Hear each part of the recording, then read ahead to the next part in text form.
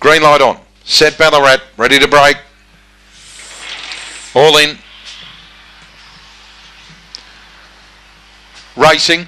Favourite Aston DB slow to go and Dream Shanty won the breakout fast Tanaka to Khan. Aston DB accelerating through the field but got into trouble as O-Champ went up on the rail. Swiftly Swift, Swift Ruby, Aston DB well back now. Then Miss Emily Rose and Metro's Girl but mid-race Dream Shanty the front runner over O-Champ and Tanaka to Khan and well back Swiftly Swift and Aston DB in the straight Dream Shanty grabbed by O-Champ and Tanaka to Khan swept down the centre. Tanaka to Khan finishes too well and beats O-Champ and Aston DB flying late. Dream Shanty back on the rose in Swiftly Swift, followed by Miss Emmy Rose, and well back would have been uh, Swift Ruby, and back with the tail end is Metro's Girl, and the run there 25.60 on race two of the day.